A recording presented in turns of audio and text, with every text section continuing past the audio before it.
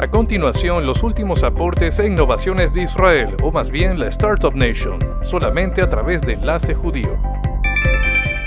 La diálisis domiciliaria israelí revoluciona el tratamiento para pacientes renales. La clínica de diálisis digital LiberD tiene como objetivo permitir que más personas se hagan diálisis en casa o en el trabajo y obtuvo el visto bueno de la FDA para un innovador sistema de diálisis digital para el hogar. La mala calidad de vida de los pacientes de diálisis se convirtió en una preocupación personal del ejecutivo de dispositivos médicos Eskia Tzori en 2014 cuando su propio padre comenzó este tratamiento de soporte vital. Junto con un grupo de científicos, ingenieros y expertos en nefrología, ideamos una solución que permitirá a los pacientes y sus familias realizar diálisis en el hogar de una manera muy escalable y segura. Una clínica de diálisis digital, dice Tori, director ejecutivo de Liberty con sede en Or Akiva, Israel. Pronto los pacientes en Israel y Estados Unidos podrán dializarse por sí mismos en casa o en el trabajo, monitoreados por su médico a través de un teléfono inteligente.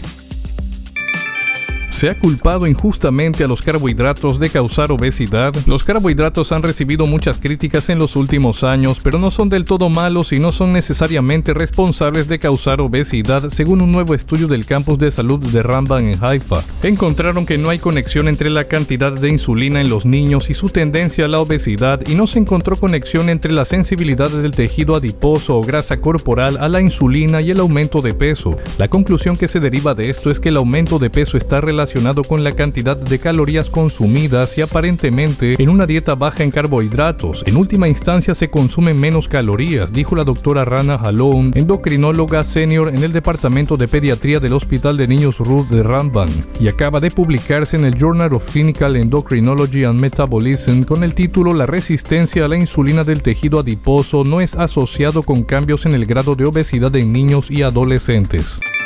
Una startup israelí de tecnología alimentaria recibió luz verde para producir leche sin necesidad de vacas. Tech12 indicó que se trata de Remilk, un desarrollador de leche y productos lácteos cultivados como el receptor del permiso. A principios de este año, Remilk obtuvo la aprobación regulatoria para vender su leche en Singapur y una carta de la FDA de Estados Unidos que indica que su proteína de suero de leche sin origen animal se puede usar de manera segura en productos alimenticios. Fundada en 2019, Remilk produce produce proteínas de leche a través de un proceso de fermentación a base de levadura que las vuelve químicamente idénticas a las presentes en la leche y los productos lácteos producidos por vaca.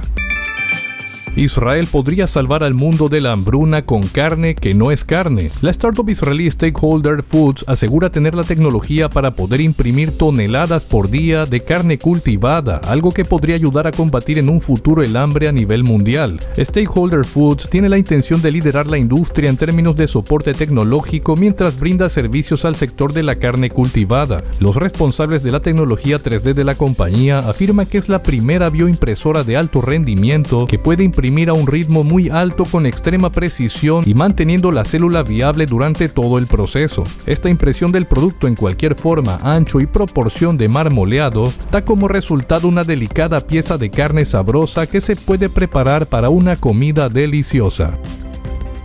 Y estos fueron los últimos aportes e innovaciones de Israel, solamente por Enlace Judío.